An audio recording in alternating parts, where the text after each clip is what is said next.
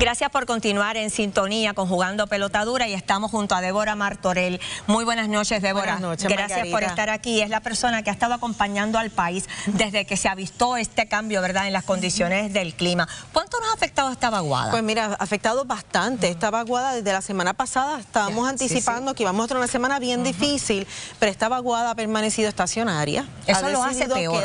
Lo hace peor y, y eso añade la onda que está pasando al sur que añade más humedad interactuando con esta vaguada y por eso es que se mantiene esta producción constante de De hecho, tenemos en pantalla aquí, Débora, quizás tú puedas compartir con los amigos televidentes lo que estás viendo. Así es, mira, están viendo ahí la imagen del radar, es la secuencia de radar de las últimas tres horas. Y lo que ven en colores, añadí en este mapa los pueblos que están todavía bajo aviso de inundaciones. En lo rojo. En lo rojo. Muy bien. Avisos que tenemos inundaciones que están ocurriendo en estos momentos en los pueblos que están bajo aviso. Estamos hablando de decenas de pueblos. Sí, sí, estamos viendo prácticamente la mitad este que se encuentra hasta las 8 de la noche. Se suponía que esa, esa alerta de inundaciones era hasta dentro de 40 minutos, era hasta hoy hasta las 8 de la noche. Exacto. En la vigilancia. La vigilancia, de inundaciones era hasta, como tú dices, era hasta las 8 de la noche. Sin embargo, fue extendida esta vigilancia de inundaciones hasta mañana en la noche porque no solamente se espera más lluvia, tal vez no tanto como la que tuvimos hoy, pero con poca lluvia que caiga es más que suficiente. Porque ese terreno está saturado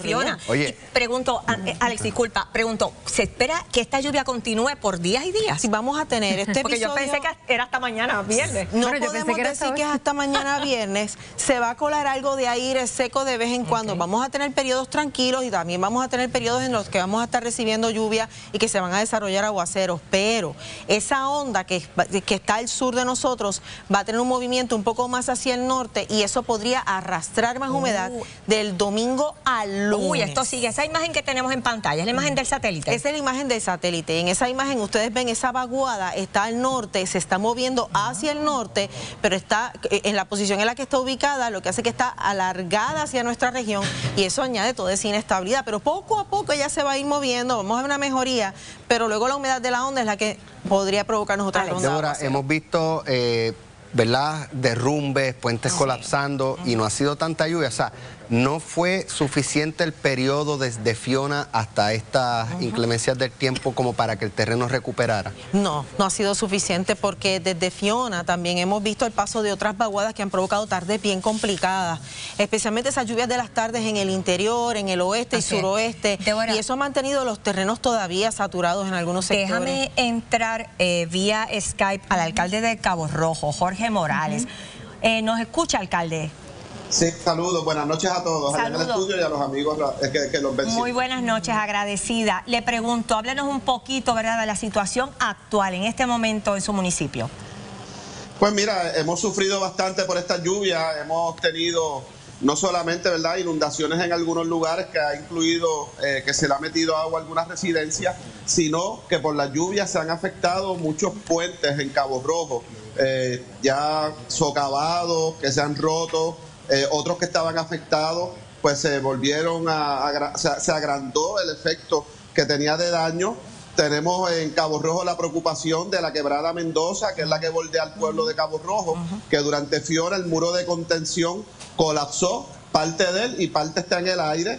eh, y es una preocupación porque si hay más inundaciones, eh, si hay más lluvia, perdón, las inundaciones este, pueden ser eh, fuertes en nuestro pueblo, Sí. como han ocurrido hoy, unas pequeñas pueden hacer gigantescas. Alcalde. Y también han ocurrido deslizamientos de terreno en algunos lugares, siendo el último un deslizamiento de terreno en la carretera 310, que es el sector de las quebradas, Sí, donde un peñón gigante cayó en el medio de la carretera y gracias a Dios no hubo ningún y el río accidentado. Pero qué. Lo, lo que ustedes hablan allí, los Claro. terrenos están saturados y cualquier eh, lluvia que caiga por un rato largo, eh, ya el cauce Sí, de la no, quebrada sí, Mendoza sí. llega a mitad y Qué peligro. Alcalde. Alex en tiene el- una pregunta para usted, En el alcalde. caso de Cabo Rojo, buenas noches, alcalde. En el caso de Cabo Rojo, ¿esto ha tenido algún efecto en el servicio energético? En Cabo Rojo. Sí, sí, hemos tenido, eh, hemos tenido, se nos ha afectado el servicio energético en estos momentos que hablamos. Hay varias urbanizaciones y varios lugares que han estado sin luz, ¿verdad? Hemos estado en contacto, sé que Luma está en estos momentos en algunos lugares, pero sí hemos sido afectados por la luz. Vámonos de un, gracias alcalde, vámonos de un extremo, ¿verdad? Del oeste al este de la isla, vámonos allá a Bucoa con el alcalde Rafael Zurillo. Eh, ¿Nos escucha, alcalde? Saludos, saludos, buenas noches a todos. Saludos, muy buenas noches. Sé que la conexión es muy mala, por eso es que estamos haciendo la llamada telefónica, pero para tener el insumo suyo, cuéntenos, que hemos estado escuchando aquí, colapsaron puentes, deslizamientos, hay gente que está, ¿verdad?, eh, prácticamente incomunicada, cuéntenos. Bueno, de todo eso hemos tenido que enfrentar nosotros durante este día. Anoche, a eso de las 10 de la noche, hubo un puente, eh, la cajetera 920, exactamente en el kilómetro 7.9, un, un, puente que tiene de construcción más de 40 años. Ese puente colapsó en su totalidad. Eh, era algo que no, no teníamos previsto que pudiera pasar con ese puente. Igual en la cajetera número 3, lo que se conoce el sector La Pica, se colapsaron dos carriles. Hubo que cerrar la, la, la carretera, esa vía de acceso. Un sinnúmero de deslizamientos de terrenos también que tenemos en caminos municipales y lo que había hablado yo precisamente en el programa de ustedes, de que yo creo que ningún pueblo en Puerto Rico está preparado para esto, porque todavía estamos en el proceso de recuperación de María. No, así tenemos la complicación de, lo entiendo. que se vieron afectados, ahora están con, con Claro que sí, lo entiendo y le agradezco muchísimo que se haya comunicado con nosotros para que la gente tenga una idea de lo que se vive en el país en este momento. Vamos de inmediato con el alcalde de Maunabo, Ángel Lafuente. Alcalde, ¿me escucha? Sí, le escucho, saludos. Saludos, buenas noches. Hábleme, hábleme de su municipio. Bueno, uh, en Maunabo alrededor de 6 pulgadas que han caído desde la noche de ayer y durante el día de hoy. Nosotros, el río salió de su cauce, el río Maunabo, salió una quebrada también de su cauce durante la noche de ayer. Nosotros ya hemos enviado el eh, contra, contratista para que atendiera esta situación y poder evitar que, esto siga sucediendo. Tenemos un sinnúmero de deslizamientos en las diferentes comunidades. Tenemos preocupación ya este, con el paso de huracán Fiona. Hay carreteras que se vieron afectadas, se han agravado con esta lluvia. Hay una comunidad que es Matulla, en la carretera 759. En el sector Los Tres Puntos, si esta carretera colapsa, yo tengo que ir al pueblo de Yabucoa o de Patilla para poder llegar a, pues atender el, gobierno estatal, exacto. Eh, importante, ¿el gobierno estatal ha tenido alguna alguna llamada para usted? alguna reacción?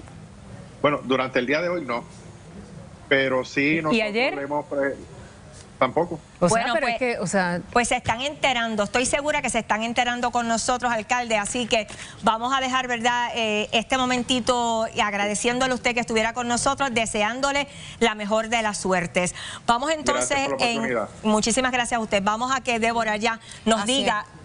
¿qué podemos esperar? Esto puede seguir. Así, lo que escucha de los alcaldes es cierto, el río Guayanés, el río Fajardo, en el río Maunabo, el río Blanco, están en, niveles altos, por eso ese aviso de inundaciones hasta las 8 de la noche en pueblos del Este, ¿Y en Patillas también. Esto puede seguir esta noche, mira las lluvias que tenemos en aguas del Mar Caribe, que todavía el viento puede arrastrar, no podemos descartar esas lluvias. Y el río Guanajibo, Cabo Rojo, Hormigueros y Mayagüez. Y la lluvia puede seguir, quizás con menos intensidad, pero hasta domingo o lunes. De hecho, vamos a tener como una tregua entre el sábado, el domingo, pero no va a durar mucho, hay bastante humedad, en la tarde van a tener lluvias, pero preocupa la onda y esa humedad que puede arrastrar entre domingo ¿Y mañana sería tan significativo como para decirle a la gente no vaya a trabajar a la, eh, o no vaya a la escuela, porque llevamos dos días en que los mandamos para la escuela y a, mitad, le dice, pues vete para tu pero casa. Pero me parece real, bien preocupante que a última hora decidan decirle que cuando la gente está trabajando tienen que salir a buscar a sus hijos. ¿Cuál sería tu recomendación? Bueno, a mediodía no saquen a los niños de la escuela porque complica la situación en la calle. Lo que no queremos es a la gente en la calle. Claro. Y eso realmente pues es un problema. Si en la mañana usted ve que todavía tenemos una situación de lluvia, que tenemos avisos y que tenemos vigilancia, mejor quédese en su casa. Vamos a evitar. Gracias, Débora. Qué valioso el trabajo que haces. De verdad, muchas gracias, por estar con nosotros. Seguimos con Yailin a ver qué siguen jugando pelota dura. Margarita y amigos televidentes, tenemos mucho más por discutir y es que continúa el tiriala en la pava por las enmiendas propuestas al reglamento. Ya está aquí el expresidente de la colectividad, Carlos Charlie Delgado, y el alcalde de Comerío, José Santiago, con quien hablamos en minutos. Ahora pasamos nuevamente contigo, Margarita. Gracias por continuar conjugando pelota dura. Y mire, quizás no por acuerdos, pero sí por desacuerdo. Los integrantes del Partido Popular están vivos. Hoy de nuevo una nueva controversia por un vídeo que estuvo circulando en las redes sociales y que prácticamente a mí me sonó como una invitación a un boicot. Pero de inmediato voy a presentar a las personas que van a estar dándonos esa información exacta y certera. Está el ex aspirante a la gobernación, Carlos Charlie Delgado. Buenas noches. Saludos, buenas noches. Gracias por estar aquí. Y el alcalde de Comerío, José Santiago también, amigo ya de la casa, que viene aquí a, cada rato. Buenas noches, buenas noches a todos. Voy con los compañeros. ¿Qué me dicen? Las preguntitas rapidito para ellos. Sí, básicamente, ¿por qué eh, no apoyar esas enmiendas que, se están proponiendo para votar ahora en noviembre? Sí, mira, el, problema no es el mensaje del video, es que, le voten en contra. Claro, no es el conjunto de enmiendas al que hay que votarle en contra, ¿verdad? Eso no es lo que queremos los populares, queremos votar por enmiendas en el reglamento que se ha trabajado muy bien por Javier, eh, por el compañero alcalde Javier Hernández. El problema aquí es que no se permitió en la Junta que las enmiendas que propuso el representante Rafael Hernández se pudieran dos cosas. Número uno, fueron tres enmiendas, no se permitió que fueran individual cada una, sino en bloque y tampoco se permitieron enmiendas para ella. Y él dijo que se aprobaron abrumadoramente. No se aprobaron abrumadoramente, hubo una votación de 9 a 6. Lo que sí se aprobó al final fue la discusión que se llevó a cabo del reglamento, del borrador del reglamento que presentó Javier y las enmiendas de Tatito. Ya eso se había votado y se había aprobado. Pues, pues, pues vamos para adelante, por eso es lo que hay. contra esas enmiendas. Mira, de que, de que el partido lo dirige un comité, de que José Luis se mantenga en la presidencia hasta el 2023. Lo que pasa es que aquí se ha, se ha generado, luego de todo lo que ha ocurrido, los procesos, los cambios de fecha y de proceso, yo sé que han generado algún malestar, pero han llevado a que también se matice esta discusión con ambiciones, de aspiraciones de unos a la presidencia y a la gobernación, aspiraciones que son legítimas, que todo el mundo las puede tener.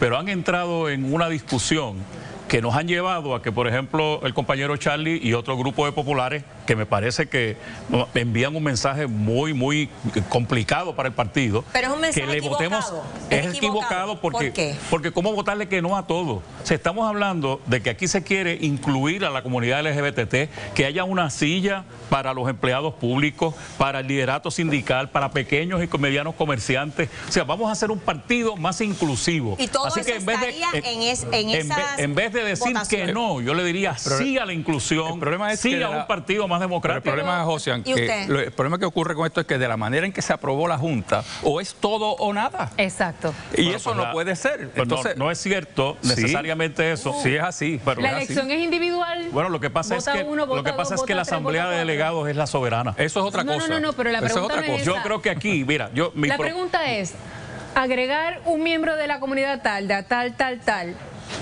eh, y que permanezca el comité, o sea, ¿van individualmente o es solamente una moción por la que se vota sí o no?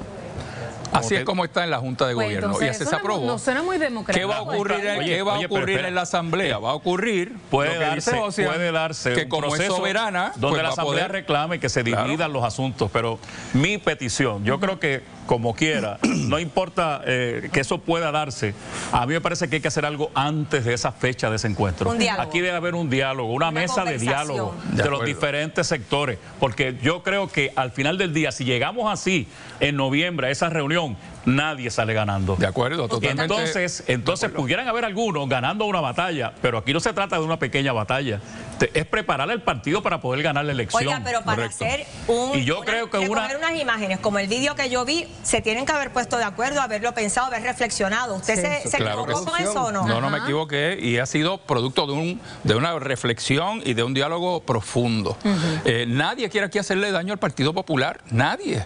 El problema es que si las cosas como se le plantean al partido es de una manera casi eh, impuesta, pues obviamente así no funciona la democracia. Hay que, aprovechar, hacer, hay que aprovechar hacer esa petición de esa mesa de diálogo, porque a mí me parece que una primaria a la gobernación adelantada sin saber si están todos los que son o son todos los que están, aquí si se hace una votación que todos han dicho básicamente que están aspirando también pensando en la gobernación. Oye, pero eso no, eso no cierra la puerta a que después en la elección, en la primaria de ley, tengamos que volver a pasar por otra elección. usted menciona los cambios de fecha como una cosa que han, que han provocado malestar, pero para otros realmente lo que provocan más que malestar es suspicacia. Claro. Por, suspicacia. No hay duda. porque si al final de cuentas, después de haberle cambiado las reglas del juego que ya habían planteado públicamente, eh, se quedan Dalmao y Tatito Hernández en ese comité, eso es un cambio de dirección, eso es un cambio de planteamiento. Estoy de acuerdo contigo, pero tampoco es saludable para mi partido ese cruce de ataques donde tengamos compañeros que dicen que son una nueva generación atacando de antidemocrático a quien continuará siendo el presidente del Senado, el presidente de la Cámara. A, mí me parece que aquí debe haber un diálogo entre todos porque estamos en este momento secuestrados entonces acá abajo nosotros los populares. les pregunto antes de irnos, usted ya señaló con claridad que favorece una mesa de diálogo antes de lo que va a ocurrir el Debe darse antes, antes de esa fecha. ¿Usted favorece esa mesa de diálogo igual antes de esa fecha? Total y absolutamente. ¿Puede cambiar su manera de pensar? Claro que sí. Si ah, se pues dan cambios, seguro, esto es cuestión de diálogo. Y yo creo que la verdad, en este momento la bola está en la cancha del compañero presidente del partido para que cite nuevamente a las partes a la mesa y vamos a empezar el diálogo. Yo espero que todos estén dispuestos a ir a la mesa de diálogo. Le conviene al Partido Popular y le conviene al país. Muchísimas gracias por acompañarnos esta noche. Vamos a seguir con Jailin, que dicen pendientes a ver nuestras últimas entradas. ¿Con qué venimos? Margarita y amigos televidentes, más adelante 16 municipios y varias agencias están en incumplimiento con la ley de transparencia. ¿Cómo es esto posible? En breve más detalles, pero queremos saber su opinión y es por eso que tenemos nuestra encuesta Claro en la que preguntamos en otros temas quién es el mayor responsable de la deficiencia académica de nuestros estudiantes. ¿Son los padres, maestros, estudiantes o el Departamento de Educación? Vote ahora mismo escaneando el QR code que aparece en pantalla que ya en breve le daremos los resultados eso será mañana, así que no se despegue que ya volvemos con más de Jugando Pelota Dura.